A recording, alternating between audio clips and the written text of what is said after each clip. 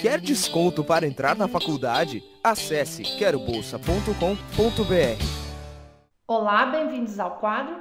Nós vamos começar a estudar a partir dessa aula as reações de eliminação. Até agora nós vimos reações de substituição e vimos por último as reações de adição.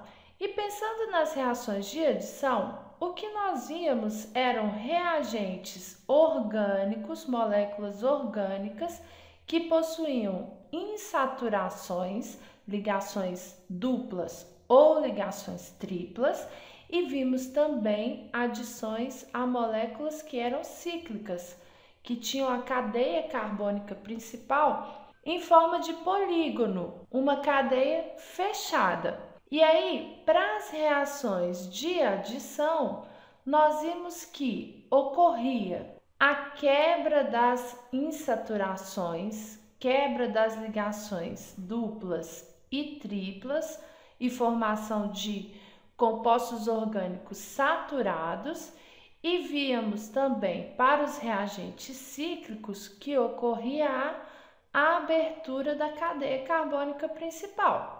Nas reações de eliminação, nós vamos ver o processo inverso às reações de adição.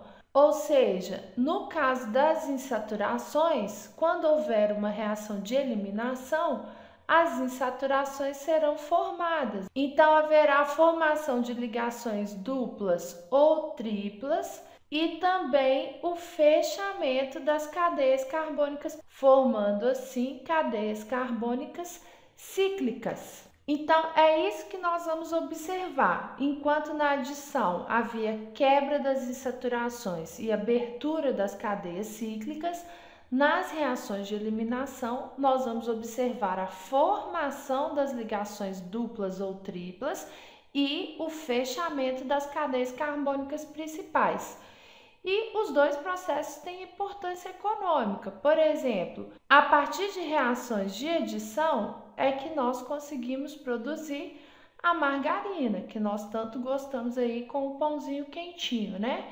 E nas reações de eliminação, nós podemos mencionar, por exemplo, a produção do polietileno, que é matéria-prima para plásticos. Então, os dois grupos de reações químicas são importantes aí economicamente. E a primeira reação de adição que nós vamos ver é a desidrogenação. Vocês já conhecem a hidrogenação, que é uma reação de adição, em que nós adicionamos hidrogênio a uma molécula orgânica.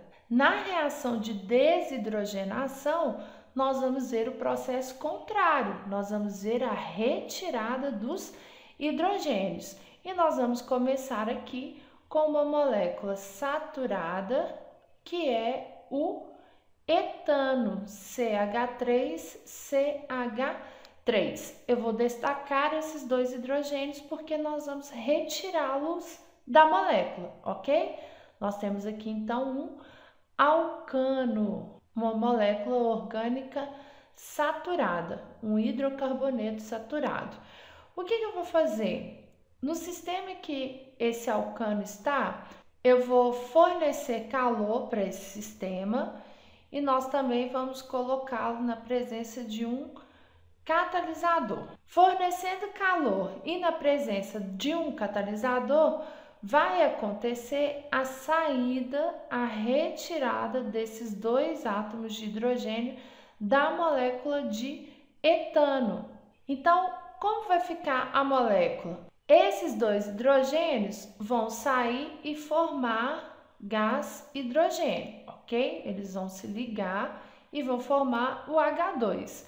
O que, que vai sobrar da molécula orgânica? Da molécula orgânica vai sobrar CH2 CH2. Olhem para os carbonos. Quantas ligações químicas cada um dos carbonos está estabelecendo? Eles estão estabelecendo três ligações químicas cada um. Uma ligação entre eles e duas ligações com os átomos de hidrogênio. Mas o átomo de carbono se estabiliza com quantas ligações mesmo? ele se estabiliza com quatro ligações. Este primeiro átomo de carbono perdeu um hidrogênio e tem um elétron livre. O segundo átomo de carbono também perdeu um hidrogênio e tem um elétron livre.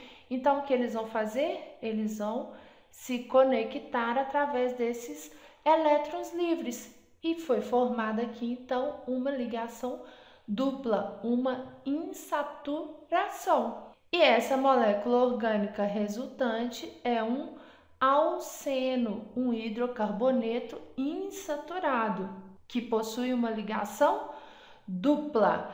Esse tipo de reação, essa reação de desidrogenação, é uma reação muito importante para a indústria, principalmente a indústria petroquímica. Por quê?